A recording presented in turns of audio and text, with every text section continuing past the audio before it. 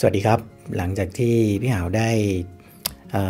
hands on preview ตัว 7D Mark II ตัว sample ไปเนี่ยนะครับเมื่อเป็นเดือนแล้วนะเป็นเดือนแล้วนะก็มีคำถามเยอะแยะมากมายนะครับ เกี่ยวกับตัว 7D Mark II ว่าตกลงเนี่ยซื้อดีไหมนะครับ ซื้อดีไหม แล้วก็ไฟล์ดีหรือเปล่านะครับโฟกัสเป็นยังไงบ้างอะโอ้เต็มไปหมดเลยนะครับ ใน inbox ของ d u h a l com เนี่ยนะครับ ต้องเรียกว่ามาแทบทุกวันนะครับในใน a c e b o o k เนี่ยนะครับ มาทุกวันเลย พี่หาวก็เลยรู้สึกว่า เอ้ย เมื่อไหร่กล้องตัวเต็มจะมาสักทีนะครับ ซึ่งก็โชคดีนะ มาเร็วกว่าที่คาดนะครับ กล้องตัวนี้เนี่ยพี่หาวได้มาลองใช้ประมาณสัก 2 อาทิตย์แล้วนะครับก็เลยเอาไปใช้งานแบบเต็มที่เลยนะครับทั้งตัวพี่หาวเอง แล้วก็ตัวน้องบอยที่ถ่ายวิดีโอนะครับ เพราะว่ากล้องตัวนี้มันมันทำงานได้หลากหลายนะแล้วก็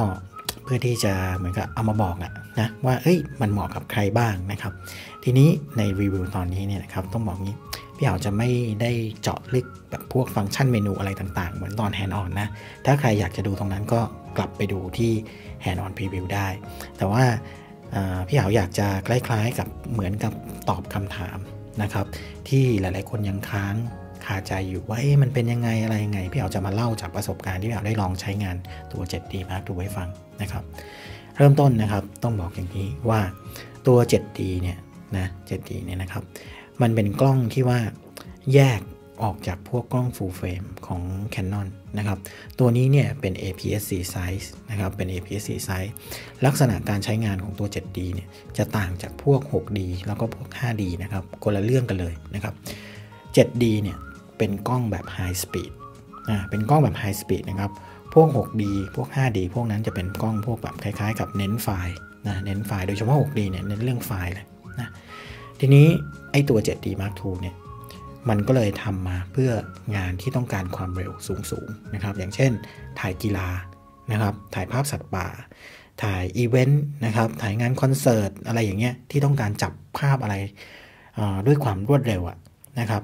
7D Mark II เนี่ยมันตอบโจทย์ตรงนั้นได้ดีมากๆนะดีมากๆเลยนะครับ หลังจากที่เราไปลองใช้งานแล้วเนี่ย มันเป็นกล้องที่ช่วยแบบตั้งแต่ถ่ายรูปมาเนี่ยพี่หาวว่าตัว 7D Mark II เนี่ยนะมันเป็นกล้องที่แบบว่าเรียกว่าแทบจะช่วยเราซะทุกอย่างกดอย่างเดียวนะครับ กดอย่างเดียวตั้งโหมดให้ให้ตรงกับงานที่จะถ่ายแล้วไปเลยลุยเลย ไม่ต้องกังวลอะไรกับมันอีก ด้วยความที่มันเป็นเซนเซอร์เล็กอ่า แล้วก็เป็นเซนเซอร์ใหม่ ต้องบอกงี้นะครับเป็นเซนเซอร์ใหม่ ตัวมันเนี่ยจะใช้ลักษณะเซนเซอร์แบบ dual pixel นะครับ มันเน้นเรื่องการโฟกัสแบบ live view แล้วก็งานวิดีโอด้วยความรวดเร็วนะครับสมมติไม่มีการแบบ hunting อึ้งงังอึ้งงังอย่างนี้ไม่มีนะครับปื๊ดปื๊ดปื๊ดอะไรอย่างนี้ ตัวเซนเซอร์มันเลย ก็เลยจะต่างจากพวก 6D 5D อะไรพวกนั้นนะครับ อันนี้เนี่ย1พิกเซลมันจะเหมือนมี 2 2เซนเซอร์นะครับ2 photodiode เพื่อที่จะจับ โฟกัสด้วย แล้วก็จับสัญญาณแสงเข้ามาด้วยนะครับ ตัวนี้เซนเซอร์เนี่ยจะเป็นลักษณะเดียวกับตัว 70D คือ Dual Pixel CMOS Sensor แต่เป็นเซนเซอร์คนละตัวกับ 70D นะครับ ไม่เหมือนกันนะ อันนี้เป็นเซนเซอร์ตัวใหม่กว่า แต่ว่าลักษณะการทำงานหรือว่าคุณลักษณะเนี่ยจะคล้ายๆกันกับตัว 70D นะ ไอตัวนี้เนี่ยนะครับ มันเป็นเซนเซอร์ตัวใหม่นะ แล้วก็มีขนาด APS-C size 6D กับ 5D เป็น full frame เพราะฉะนั้นลักษณะการได้ภาพของมันเนี่ยนะครับ ลักษณะภาพของมันเนี่ยจะแตกต่างกัน ตัว 7D เนี่ยนะครับ มันจะเป็นลักษณะเขาเรียกว่า crop sensor สมมติว่าเราใช้เลนส์เดียวกันนะครับที่ระยะเดียวกันหรืออะไรต่างๆนานาเนี่ยตัวนี้เหมือนถ่ายมาเต็มๆแล้วมาครอปอ่าถ่ายเต็มๆแล้วมาครอปเพราะฉะนั้นเนี่ยถ้าเกิดเราใช้เลนส์อย่างอย่าง300เงี้ยมันจะกลายเป็นไปคูณ 1.6 ใช้เลนร้อยก็จะได้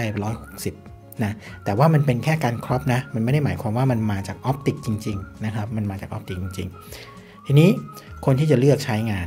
ถามพี่เหาเยอะเลยเอ๊จะเลือก 6D หรือ 7D ดีนะครับ เริ่มแรกต้องถามตัวเองก่อน ว่าเราไปใช้อะไรนะครับ เอาไปใช้อะไร เราไปใช้ในงานความเร็วหรืออะไรอย่างเงี้ยนะครับ 6D สู้ไว้นี่ไม่ได้หรอกนะครับ คนละเรื่องเลยนะครับ คนละเรื่องเลย 6D นี่มันเหมือนแบบว่าเหมือนขับรถเปิดประทุนเนี่ยช้าๆ ไปเรื่อยๆ ถ้าเป็นนักมวยก็เหมือนนักมวยหมัดหนัก แต่เชื่องช้านะแต่ต่อยก็ตุ้มตุ้มอะไรอย่างนั้นอะประมาณอย่างนั้น แต่อันเนี้ยมันเหมือนแบบปูดปาร์ตนะครับปูดปาร์ตเป็นนักมวยแบบโอ้โหชั้นเชิง หลากหลายต่อยอคมแล้วก็ ไวอะไรประมาณอย่างนั้นนะครับ แต่ว่าหมัดเนี่ยสู้ไอ้ 6D ไม่ได้ 6D เนี่ยไฟล์จะดีกว่าตัวนี้เยอะนะครับ ต้องบอกเลยว่าไฟล์ดีกว่าตัวนี้เยอะ แต่ไม่ได้หมายความว่ามันไฟล์ไม่ดี เดี๋ยวพี่หาวจะเล่าให้ฟังนะครับ มีคนหลายคน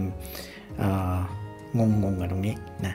ทีนี้ตัว 6D ถ้าพูดถึง character ของมันนะครับ หรือเซนเซอร์ full frame ทั้งหลายเนี่ย อย่างงานที่พี่หาวถ่าย เช่นพวกสถาปัตยกรรม หรืองานพวก interior หรืออะไรอย่างเงี้ยนะครับ พี่หาวว่าเซนเซอร์ full frame เนี่ยเหมาะกว่าตัว 7D นะพวกนั้นเนี่ยมันจะมีลักษณะของการ compress ฉากนะครับคือคือค่อนข้างดีกว่านะครับ perspective มันไม่พุ่ง สังเกตดูนะครับ ถ้าไอ้กล้องพวก APS-C นะใช้เลนส์มุมกว้างมากๆโอ้ฉากหลังมันจะถูกผลักไปไกลนะครับแล้วมันก็จะพุ่งพุ่งเหมือนกับแบบเส้นมันพุ่ง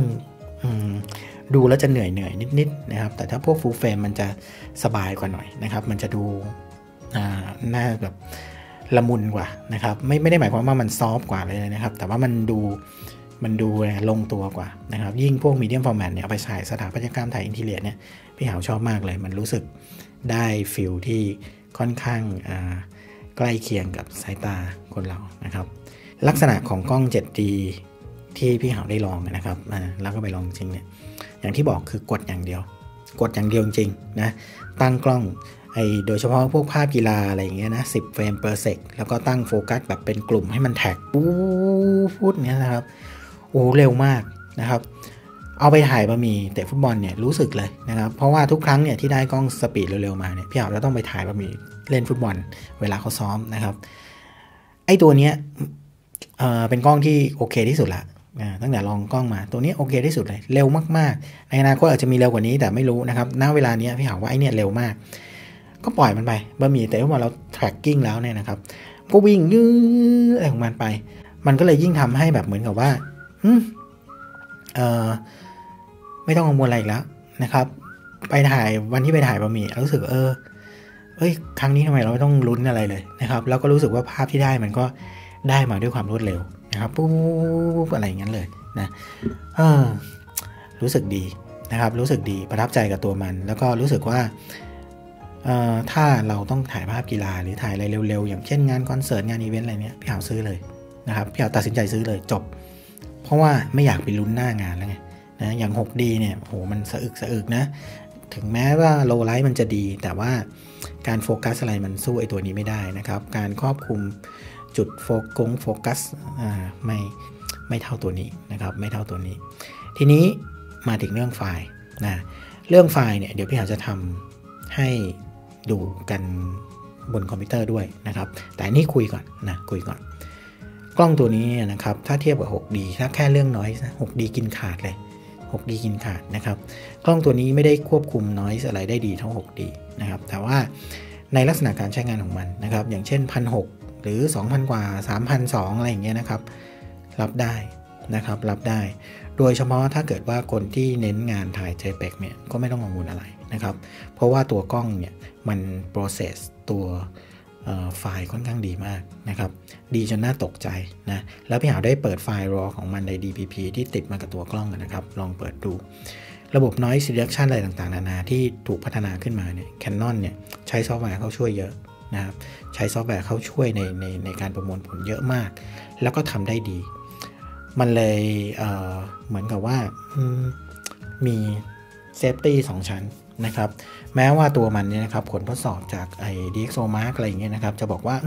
เซนเซอร์มันเนี่ยไปเทียบกับกล้องยี่ห้อหนึ่งเมื่อ 5 ปีที่แล้วมั้งเออนะบอกว่าประมาณนั้นนะครับ แต่ว่าถ้าได้ลองใช้งานจริง ๆ นะ เฉยๆอะ่ะเฉยๆจริง ๆ นะครับ เฉยๆมากเลย สิ่งที่หลาย ๆ คนเข้าใจว่าถ้าน้อยเยอะคือกล้องไม่ดีนะครับ ไฟล์ไม่ดี ตัวนี้ไม่ได้น้อยเยอะมากเลยนะครับ ถ้าลองกันจริง ๆ เนี่ยก็ประมาณพันหกสามพันสองเนี่ยพอรับได้นะครับอ่าไม่ได้มีปัญหาอะไร แต่ว่าพอไปหกพันสี่อะไรมันก็เยอะนะ ก็เยอะนะครับ แต่สิ่งที่มันมีมากกว่านั้นนะหลาย ๆ คนไม่ได้คิดตรงนี้นะครับ เวลาที่เราเอาไปใช้งานจริงๆเนี่ยสภาพแวดล้อม สภาพแสงสภาพอะไรโอ้โหมัน มันหลากหลายมากมายนะครับ ก็ต้องมาดูว่ากล้องเนี่ยมันยืดหยุ่นพอที่จะรองรับไอะไรพวกตรงนั้นได้หรือเปล่านะครับ มีหลายคนได้ลอง 7D Mark II แล้วนะทั้งช่างภาพคนไทยช่างภาพฝรั่งหรืออะไรต่างๆนานานะครับ ต่างชาติเนี่ยยอมรับนะครับว่า เอ้ย ในสภาพแวดล้อมที่มันโหดๆนะครับ คือหมายถึงว่าสภาพแสงที่มันแปรปรวนอะไรต่างๆ นานาอย่างเงี้ยนะครับ ไฟล์ของ 7D Mark II เนี่ยมันยืดหยุ่นอย่างเหลือเชื่อนะครับ แล้วก็ตัว process ในตัวกล้องที่จะได้ไฟล์ JPEG มา หรือว่าเป็นรอแล้วเอาไปใช้ใน DPP เนี่ยนะครับ มันมันไม่รู้มันทำได้ยังไงนะครับ คือมันยืดหยุ่น มันมีความยืดหยุ่น ไม่ต้องกังวลอ่าถ้าคิดง่ายๆอย่างนี้อ่าเวลาที่เราถ่ายเนี่ยเรารู้สึกว่า เอ้ย เดี๋ยวไฮไลท์มันจะหลุดนะ แต่ตัว 7D เนี่ยมันมันเอาอยู่เฉยเลย อ่ามันเอาอยู่เฉยเลย หรือสภาพแสงที่มันแตกต่างกันมากๆ contrast มากๆเดี๋ยวหน้าดำเดี๋ยวข้างหลังสว่างอะไรเงี้ยกล้องมันวัดแสงแล้วมัน balance ให้ค่อนข้างดีเลยนะครับ เพราะเทคโนโลยีมันไปไกลมากแล้วนะครับ ไปไกลมาก มันก็กลับมาที่กดอย่างเดียวก็คือกดอย่างเดียวนะบางคนบอกเอ้ยเดี๋ยวอันนี้น้อยเยอะไฟล์ไม่ดีไม่ใช่นะครับ ไม่ไม่ไม่ได้คิดกันแค่น้อย ถ้าคิดกันแค่น้อยก็ ก็ไม่ต้องทำอะไรแล้ว ก็ซื้อกล้องที่มันมีน้อยน้อยก็ไปซื้อ 6D นะครับ แต่ 6D เขาถ่ายไม่ได้อย่างนี้นะ ทีนี้พี่เอาก็เลยคิดว่า เอ้ย เนี่ย อยากให้ลองนะครับ อยากให้ลอง แล้วเดี๋ยวรอดูสักพักนึงนะครับ พอไฟล์คนได้ใช้ 7D Mark II เยอะๆนะครับ พี่เหาเชื่อว่ามันจะมีภาพแปลกๆ ที่เราแบบว่าไม่คาดคิดว่ามันจะได้อะนะ ออกมาเรื่อยๆ จากกล้องตัวนี้ นะครับ เพราะว่ากล้องที่มีอยู่ที่เขาใช้กันทั่วๆไปเนี่ยนะครับมันมันมันทำไม่ได้เท่าตัวนี้นะ อันนี้ต้องบอกก่อนนะครับ ส่วนงานวิดีโออ่างานวิดีโอก็ต้องบอกว่ามันมันก็ไปไกลเหมือนกันนะ อย่างบอยเนี่ยปกตินี่ก็ถ่ายนะครับเขาจะถ่าย manual focus เป็นหลักนะ อย่างอันเนี้ยตอนเนี้ยที่ถ่ายพี่หาวอยู่เนี่ยก็เป็น manual focus นะครับเขาจะขยับพี่หาวขยับเขาก็ต้องขยับตามนะ ทีนี้คนที่ทำงาน production ก็จะชอบ manual focus แล้วก็พึ่งพาระบบ auto focus ไม่ได้นะต้องบอกงี้เขาก็ไม่เขาไม่เชื่อถือauto focus เลย พี่หาวก็บอกแล้วบอกว่าเฮ้ยตอนที่มันมี auto focus วิดีโอเนี่ยคนทั่วๆไปอะ่ะเขาไม่ได้ต้องการจะ manual ตลอดเวลา เขาต้องการงานวิดีโอที่มันเหมือนกล้อง camcorder อย่างนั้นนะตื้อตื้อตื้อถ้ามีเขาก็ใช้ แล้วถ้ามีดีมันก็ใช้ใช่ไหมครับพี่หาวก็ใช้บ่อยๆ อย่างตัว 70D เนี่ยพี่หาวตั้งให้มัน tracking หน้าด้วยซ้ำนะก็ใช้ แต่ว่าพวกที่งาน production อย่างของบอยที่เขาทำเนี่ยเขาเขาไม่ค่อยมั่นใจนะครับ ก็โอเคไม่เป็นไร แต่พอบอยได้ไปลองไอ้ตัว 7D แล้วผมเฮ้ยมัน work มากนะครับ มัน smooth นะครับแล้วก็ตัวโฟกัสเนี่ยสามารถเลือกได้นะครับว่าจะเอาเร็วเอาช้า auto focus แล้วก็ sure แล้ว อถามแล้วเป็นไงอะแล้วช่วยงานได้มากไหมนะครับบอยบอกเออมันก็ดีสิถ้าถ้ามันมีอะไรแม่นยำอย่างนี้นะครับ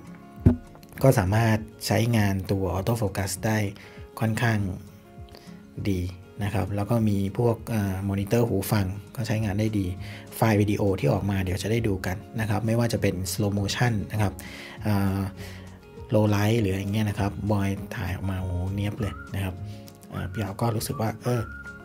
ยังถามบอยเมื่อกี้เลยนะ ผมว่าบอยเอาไหมพี่เอาโล 5D Mark II ไม่ใช้ละ เดี๋ยวซื้อ 7D มาให้ใช้เลยนะ 7D Mark II เนี่ยเอามาใช้งานในงานวิดีโอเนี่ยสนใจไหมถ้าถ้าสนใจก็ก็เดี๋ยวก็ลองจัดมา เพราะว่าเขาก็รู้สึกว่ามันทำงานง่ายขึ้นนะครับ ส่วนตัวข้อเสียของมันนะครับ ถ้าหลาย ๆ คนถามเรื่องข้อเสียของมันล่ะเป็นยังไงอะก็ไม่อาไม่อยากเรียกว่าเป็นข้อเสียนะครับ ก็อย่างที่บอกคือ ต้องนึกก่อนว่าเราใช้งานอะไรนะครับ แล้วก็ต้องการใช้มันในลักษณะไหน ถ้าเราต้องการในลักษณะที่โอ้ยเป็น full frame ถ่าย low light ดีๆ กล้องตัวนี้มันก็คือข้อเสียของมันนะครับ คือมันทำไม่ได้เท่า 6D หรอกนะแต่ถ้ามองในแง่เรื่อง speed เรื่องความเร็ว แล้วก็เรื่องความยืดหยุ่นในการได้ภาพนะครับตัวนี้มันเหลือเฟือนะครับ เหลือเฟือมากๆเลย เหลือเฟือมากๆเลย เป็นกล้องที่ถ่ายง่ายตัวหนึ่งนะครับสำหรับพี่หาวเนี่ยพี่หาวคิดว่าอืมมันมันมาไกลมากแล้วนะครับ คือ Canon เนี่ยมาไกลไกลมากแล้วสำหรับกล้องตัวนี้นะครับ ก็ไม่ได้มีอะไรที่พี่หาวคิดว่าอยากจะติอะไรมันนะสิ่งที่อยากจะให้เพิ่มมาก็คืออย่างตัว Wi-Fi ที่ไม่มี อันนี้มันเป็นจุดหนึ่งนะครับ ที่พี่หาวคิดว่ามันควรจะมี นะครับมันควรจะมีแต่เขาก็ซื้อ option เสริมได้นะ แต่พี่หาวว่าไม่สะดวกหรอก หาทางใส่มาดีกว่านะครับ Canon หาทางใส่มา พี่หาวว่าใส่ได้ บางทีเขาบอกว่าเนื่องจาก seal body แล้วเนี่ยมันจะเหมือนกับว่ามันสัญญาณมันจะอ่อนหรืออะไรอย่างเงี้ยนะครับ พี่หาวก็เห็นกล้องดีๆ ที่ seal body เยอะแยะมากมาย แต่ก็มีช่างภาพที่เป็น journalist หลายคนนะครับเขาก็บอกว่ามันจะมีปัญหานิดนึง เวลากล้องพวกนี้เวลาเข้าไปในสถานที่อย่างเขาเป็นนักกงนักข่าวนะครับ เดี๋ยวนี้บางที่เขาจะห้ามนะครับ บางประเทศบางอะไรเขาห้ามกล้องที่มี Wi-Fi เข้าไปในสถานที่นั้นๆนะครับ มันไม่สะดวกเขาก็เลยบอกว่าเออไอการที่มันไม่มีเนี่ยอาจจะเป็นข้อดีในเหตุผลนี้ก็ได้ อันนี้ก็ก็แล้วแต่นะครับ ส่วนอื่นๆไม่มีอะไรนะครับเนี่ยสิ่งที่อยากจะบอกย้ำอีกครั้งหนึ่งนะครับอขอย้ำอีกครั้งหนึ่งอาจจะพูดซ้ำไปซ้ำมานะครับ คือ ต้องทำความเข้าใจกับตัวเองดีๆก่อนนะครับว่า เราไปใช้งานอะไรนะครับ ถ้าเราเอาไปใช้งานในลักษณะไฮสปีดอะไรอย่างเงี้ยกล้องตัวนี้ไม่มีปัญหาเลยนะครับ ดีมากๆกดอย่างเดียวนะครับ แล้วก็ไฟล์ยืดหยุ่นเดี๋ยวได้ดูกันนะครับ เดี๋ยวพี่เอาได้ดูกัน ลักษณะของไฟล์ของ 7D ตัวนี้นะครับ ออกมาแนวคมนะครับนะเป็นภาพคมคมแล้วก็ออกใสๆหน่อยนะครับ ออกแนวคมใสจะไม่มีแบบว่าเป็นนัวนัว